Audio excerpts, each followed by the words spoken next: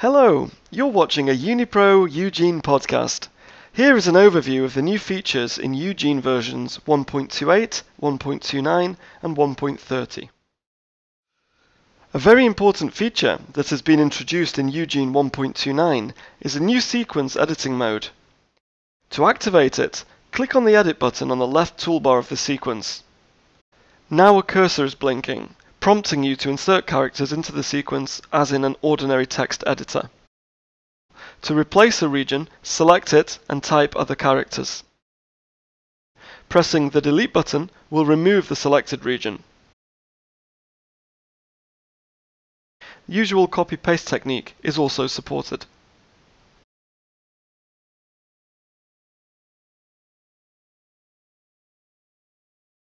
Select Actions, Edit, Annotation Settings on Sequence Editing in order to configure the options available for treating annotations affected by the editing. For example, let's split an annotation. To deactivate the editing mode, click the Edit button again. Note that now the wrapping option is enabled by default and all amino acid translation frames are hidden.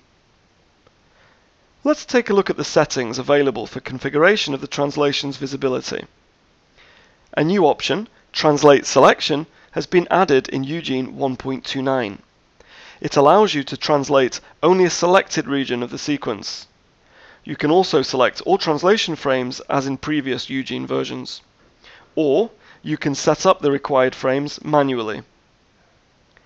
A few updates of the sequence selection have also been released. The new selection tweaking feature allows you to expand or constrict the selection. Simply drag the selection border with the mouse to modify the selection.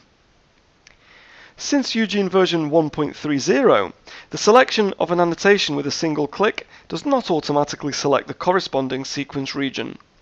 If you want to select a sequence region covered by an annotation, double-click.